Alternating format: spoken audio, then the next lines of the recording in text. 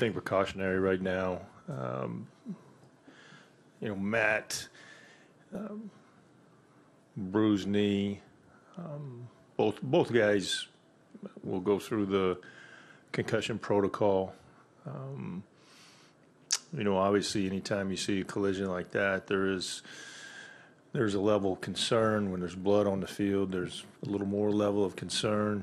Um, you know, Matt walked off uh, by himself, seemed to to progress um, in the clubhouse and in the training room as as time went. So um, we'll we'll know more tomorrow.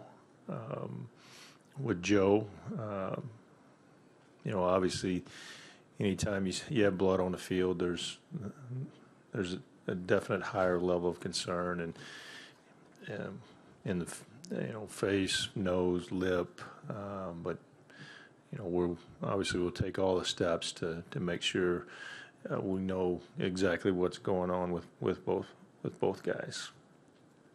One of the things that has made you guys so effective during this homestand has been the ability to maximize opportunities. Mm-hmm. Not able to do that today. Was there anything different that you saw, or any reason you weren't able to do that Well, I, you know, I felt like Gonzalez made some pitches in, in, situations. The, the thing is that uh, there were no productive outs today. That that's where uh, we really um, we were getting base hits in those situations, but we were also getting productive outs. We had uh, bases loaded twice, uh, came away with no runs scored.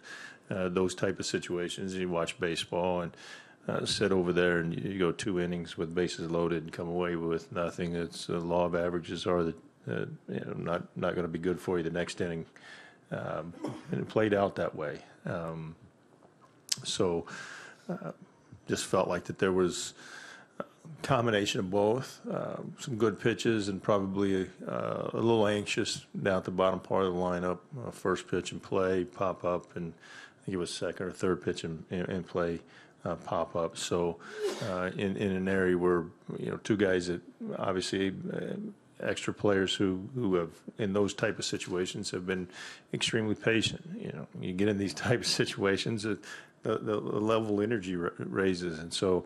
Um, you know, learning learning moment for for two guys, but uh, look, it's it's really the, the entire offense all day long. You, you feel good about the number of base runners we had. Uh, however, not not getting runs across the plate until late. Uh, you know, those games don't, don't don't typically work out very well for you. What effect, if any, does a split have on your chances right now as you chase the teams ahead of you in the wild card race? Well, look, it's uh, I got I look at it this way, and you know, we, we had an extremely productive homestand. Um, I think we're in a much better spot than than we were when we started the homestand. So we gained ground. Um, how what effect it has on our chances? We're, we I I believe that um, I don't know what the outcome of everybody else is today. I know what our, our our outcome is. We didn't win a baseball game, so there's no way we gained ground. What else? What- Can you take us through the decision to pinch hit for Delino? What factored into that? Well, look, I mean, left on right matchup um, with uh, with Choo, uh, the on base, uh, the power. Um, you know, those are those are the, the, the biggest factors. So, Just curious, in the third, I think it was, you let, gave Joey the green light on 3-0. Have you done that often this year? Yeah, we've given him uh, the, the green light a number of times. Is that a 3 sign of his advancement as a hitter, what he's been able to do? Well, I, we gave him green light early in the season. He hit one out of the ballpark. So, um, you know, we get it, get that big man a free swing at a fastball. We'll, we'll let that happen.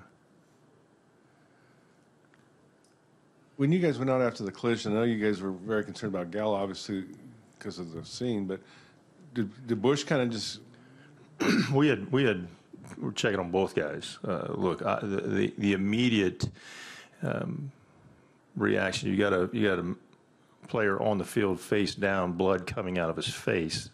That's the number one priority.